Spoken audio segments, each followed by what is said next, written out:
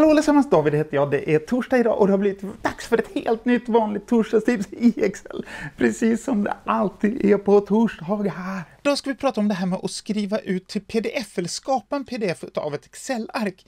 Det är en fråga som jag får lite då och då och det finns en del små lurigheter och kul saker som du ska få reda på i det här torsdagstipset. Häng med får du se. Här har vi en lista. Det är massa produkter med produktiden och eh, vad det är för typ och vilken tillverkare det är och pris och inköpspris.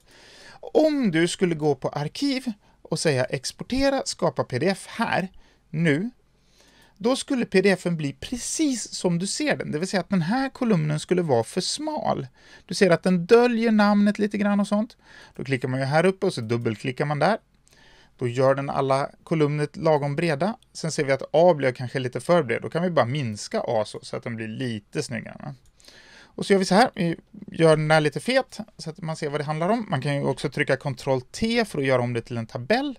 Kanske designa tabellen lite snyggt så här. Nu handlar det om grönsaker, så då tar vi en grön eh, design på den här. Va?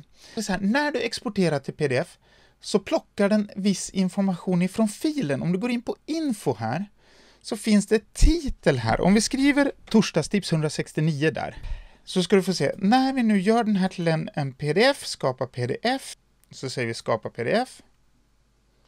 Ser vi att den ska skriva ut det till det här filnamnet.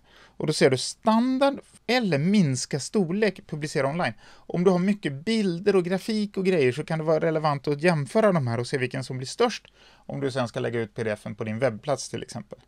Nu ska vi inte det, så kör vi standard.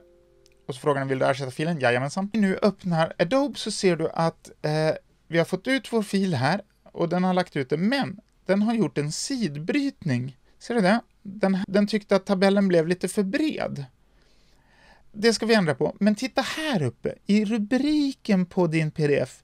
Det här är en sån här sak som jag irriterar mig på när man ser folk ha glömt. Att det står torsdagstips 169 där, det beror på att vi gick in under arkiv och info och skrev det där, titel. Skriver vi Davids eh, produkter här istället, så ska du få se nästa gång vi gör en pdf, då kommer det stå Davids produkter istället. Men om vi nu klickar här nere på förhandsgranska sidbrytning, då ser vi att Excel visar var kommer den, hur kommer den lägga ut de här eh, siffrorna på olika sidor. Och då ser du att det blir blåa linjer och drar man lite i den här, då kan man faktiskt klämma in hela sida 1 på en och samma sida. Om vi går på exportera, skapa pdf igen och skapa pdf. Jo, nu ser du, då blev det ju lite mindre för att det skulle få plats. Nu ligger allting på en och samma sida och så tittar vi här uppe och då står det Davids produkter där uppe. Ja, det var några små tips om hur man gör pdf från ett Excel-ark. Ett annat sätt är naturligtvis att lyfta in data till PowerPoint eller Word om du vill ha mycket mer kontroll.